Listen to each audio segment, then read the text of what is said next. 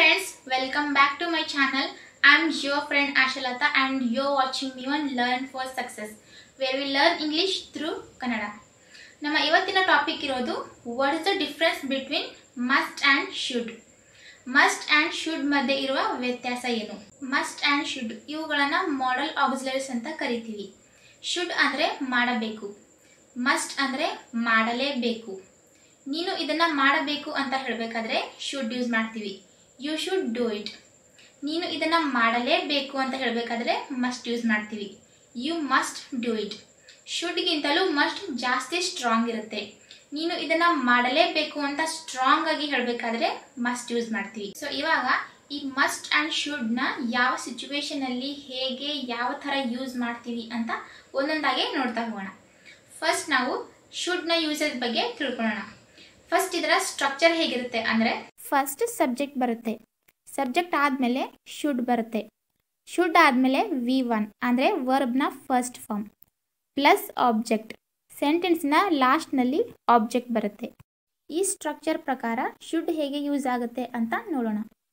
First situation ಇದೆ responsibilities ಜವಾಬ್ದಾರಿ ಬಗ್ಗೆ ಮಾತಾಡಬೇಕಾದ್ರೆ ಶುಡ್ ಯೂಸ್ ಮಾಡ್ತೀವಿ. ವಿ ಶುಡ್ ಸೇವ್ ವಾಟರ್ ನಾವು ನೀರನ್ನು ಉಳಿಸಬೇಕು. ವಾಟರ್ನ ಸೇವ್ ಮಾಡಬೇಕು. ನೆಕ್ಸ್ಟ್ ಜನ್ರೇಷನ್ಗೋಸ್ಕರ ನಾವು ಜಾಸ್ತಿ ನೀರು ವೇಸ್ಟ್ ಆಗದೆ ಇರೋ ಥರ ನೀರನ್ನು ಬಳಸಬೇಕು. ಇದು ಎಲ್ಲರ ರೆಸ್ಪಾನ್ಸಿಬಿಲಿಟಿ, ಜವಾಬ್ದಾರಿ. ನೆಕ್ಸ್ಟ್ ಸಿಚುವೇಶನ್ ಬರುತ್ತೆ ಡ್ಯೂಟಿ, ಅಂದರೆ ಕರ್ತವ್ಯ. I should do my job properly ನಾನು ನನ್ನ ಕೆಲಸವನ್ನು ಸರಿಯಾಗಿ ಮಾಡಬೇಕು. ಇದು ನನ್ನ ಕರ್ತವ್ಯ. ನೆಕ್ಸ್ಟ್ ಬರುತ್ತೆ ಸಜೆಷನ್, ಅಂದರೆ ಸಲಹೆ ಕೊಡುವುದು. You should sing a song ನೀನು ಹಾಡನ್ನು ಹಾಡಬೇಕು. ಆ್ಯಂಡ್ ನೆಕ್ಸ್ಟ್ ಬರುತ್ತೆ ಅಡ್ವೈಸ್ ಸಲಹೆ ಕೊಡುವುದು, ಉಪದೇಶ ಮಾಡುವುದು. You should meet them as the matter of your work ನಿನ್ನ ಕೆಲಸದ ವಿಷಯವಾಗಿ ನೀನು ಅವರನ್ನು ಭೇಟಿ ಮಾಡಬೇಕು. ಕಾಮನ್ ಆಗಿ ಈ ಥರ ಹೇಳ್ತಾ ಇರ್ತಾರೆ. ನೀನು ಅವರನ್ನು ಭೇಟಿ ಮಾಡಿದ್ರೆ ನಿನ್ನ ಕೆಲಸ ಈಸಿ ಆಗುತ್ತೆ. ನಿನ್ನ ಕೆಲಸ ಆಗುತ್ತೆ ಅಂತ ಅಡ್ವೈಸ್ ಮಾಡ್ತಾರೆ. ಸೊ ಅಂತಹ ಸಿಚುವೇಶನ್ನಲ್ಲಿ ಕೂಡ ಶುಡ್ ಯೂಸ್ ಆಗುತ್ತೆ. ಈಗ ಶುಡ್ನ ಯೂಸ್ ಮಾಡಿಕೊಂಡು ಫೋರ್ ಟೈಪ್ ಸೆಂಟೆನ್ಸಸ್ ಹೇಗೆ ರೆಡಿ ಮಾಡೋದು ಅಂತ ನೋಡೋಣ. ಯು ಶುಡ್ ವೇಟ್ ಇಯರ್ ನೀನು ಇಲ್ಲಿ ಕಾಯಬೇಕು. ಶುಡ್ ಅನ್ನೋದು ಸಬ್ಜೆಕ್ಟ್ಗಿಂತ ಮುಂಚೆ ಬಂದರೆ, ಅಂದರೆ ಸೆಂಟೆನ್ಸ್ನ ಫಸ್ಟ್ ಶುಡ್ ಬಂದರೆ ಅದು ಕ್ವಶನ್ ಆಗುತ್ತೆ. ಶುಡ್ ಯು ವೇಟ್ ಇಯರ್ ನೀನು ಇಲ್ಲಿ ಕಾಯಬೇಕಾ?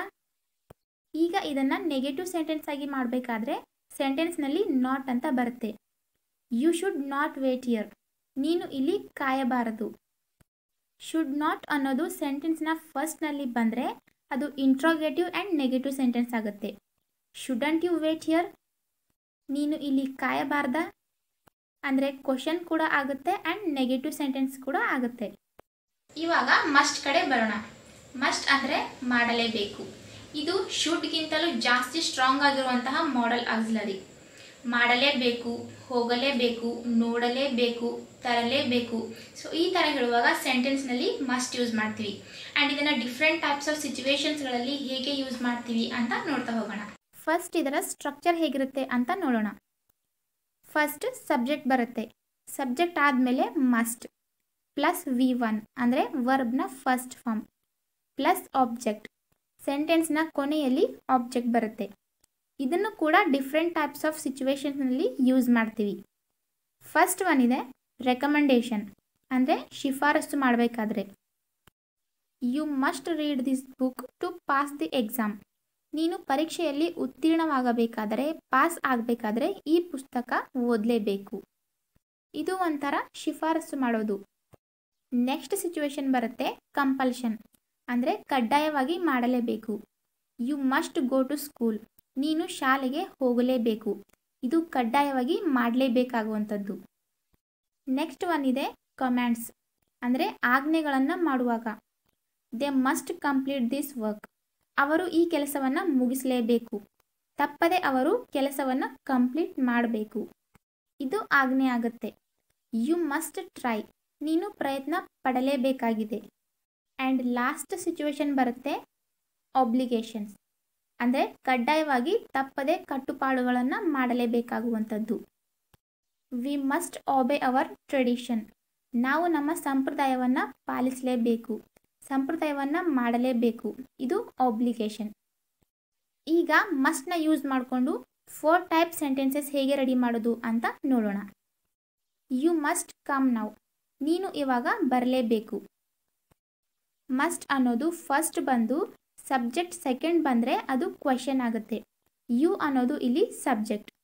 Must you come now ನೀನು ಇವಾಗ ಬರಲೇಬೇಕಾ? ಸೆಂಟೆನ್ಸ್ನ ಕೊನೆಯಲ್ಲಿ ಕ್ವೆಶನ್ ಮಾರ್ಕ್ ಇರಲೇಬೇಕು. ಈಗ ನೆಗೆಟಿವ್ ಸೆಂಟೆನ್ಸ್ ಹೇಗಾಗುತ್ತೆ ಅಂದರೆ ಸೆಂಟೆನ್ಸ್ನಲ್ಲಿ ನಾಟ್ ಅಂತ ಬರುತ್ತೆ. ಬರಲೇಬಾರದು, ಮಾಡಲೇಬಾರದು, ಹೋಗಲೇಬಾರದು ಅಂತ ಹೇಳಬೇಕಾದ್ರೆ ಮಸ್ಟ್ ಜೊತೆ ನಾಟ್ ಬರುತ್ತೆ. ಮಸ್ಟ್ ಜೊತೆ ನಾಟ್ ಸೇರಿದ್ರೆ ಅದು ಮಜೆಂಟ್ ಆಗುತ್ತೆ. ಹಾಗೆ ಶುಡ್ ಜೊತೆ ನಾಟ್ ಸೇರಿದ್ರೆ ಶುಡಂಟ್ ಆಗುತ್ತೆ. ಯು ಮಜಂಟ್ ಕಮ್ ನೌ ನೀನು ಇವಾಗ ಬರಲೇಬಾರದು. ಈಗ next negative plus interrogative sentence ಹೇಗಾಗುತ್ತೆ ಅಂದರೆ ಮಜಂಟ್ ಅನ್ನೋದು ಸೆಂಟೆನ್ಸ್ನ ಫಸ್ಟಿಗೆ ಬರುತ್ತೆ. ಮಜಂಟ್ ಯು ಕಮ್ ನೌ ನೀನು ಇವಾಗ ಬರಲೇಬಾರ್ದಾ? ಇಲ್ಲೂ ಕೂಡ ಕ್ವಶನ್ ಮಾರ್ಕ್ ಬರಲೇಬೇಕು. ಮಜಂಟ್ ಯು ಕಮ್ ನೌ ನೀನು ಇವಾಗ ಬರಲೇಬಾರ್ದ? ಮಸ್ಟ್ನ ಯಾವಾಗ ಯೂಸ್ ಮಾಡ್ತೀವಿ ಅಂತ ಇದರ ಡಿಫ್ರೆಂಟ್ ಟೈಪ್ಸ್ ಆಫ್ ಯೂಸಸ್ ಬಗ್ಗೆ ತಿಳ್ಕೊಂಡ್ರೆ ಮಸ್ಟ್ ಬಗ್ಗೆ ಇರುವಂತಹ ಕಾನ್ಸೆಪ್ಟ್ ಕ್ಲಿಯರ್ ಆಗುತ್ತೆ ಆ್ಯಂಡ್ ನಿಮ್ಮ ಡೌಟ್ ಕೂಡ ಕ್ಲಿಯರ್ ಆಗುತ್ತೆ. ಇದು ಮಸ್ಟ್ ಆ್ಯಂಡ್ ಶುಡ್ ನಡುವೆ ಇರುವಂತಹ ವ್ಯತ್ಯಾಸ. ಶುಡ್ ಅಂದರೆ ಮಾಡಬೇಕು. ಮಸ್ಟ್ ಅಂದರೆ ಮಾಡಲೇಬೇಕು. ಶುಡ್ ನಾಟ್ ಅಂದರೆ ಮಾಡಬಾರದು. ಮಜಂಟ್ ಅಂದರೆ ಮಾಡಲೇಬಾರದು. ಆ್ಯಂಡ್ ಯಾವ ಸಿಚುವೇಶನ್ನಲ್ಲಿ ಯಾವುದನ್ನು ಯೂಸ್ ಮಾಡಬೇಕು ಅನ್ನೋದನ್ನು ಕರೆಕ್ಟಾಗಿ ನೆನಪಿನಲ್ಲಿ ಇಟ್ಕೊಂಡ್ರೆ ತುಂಬಾ ಈಸಿ ಆಗುತ್ತೆ. ಸೊ ಇಷ್ಟೇ ಇರೋದು difference between must and should I hope ನಿಮಗೆ ಅರ್ಥ ಆಗಿರುತ್ತೆ. ವಿಡಿಯೋ ಇಷ್ಟ ಆದರೆ ಲೈಕ್ ಮಾಡಿ, ನಿಮ್ಮ ಫ್ಯಾಮಿಲಿ ಫ್ರೆಂಡ್ಸ್ ಜೊತೆ ಶೇರ್ ಮಾಡಿ ಆ್ಯಂಡ್ ಮರಿದೇನೆ ನನ್ನ ಚಾನಲ್ನ ಸಬ್ಸ್ಕ್ರೈಬ್ ಮಾಡ್ಕೊಳ್ಳಿ.